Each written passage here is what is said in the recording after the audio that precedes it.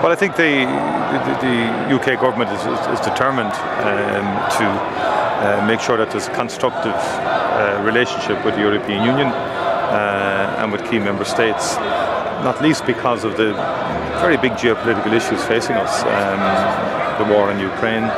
the wider security situation, uh, and also then the, the economic situation that, that flows from that war and the impact that energy prices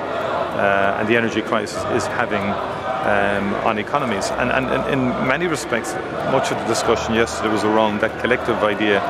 that everybody stands to lose here if we don't start accelerating uh, cooperation on energy through grid connections, um, through accelerating renewables, um, and, and, also then working on the market issues uh, and on supply issues. So I think it's, it's, it's positive to see that, um, and I think that will continue.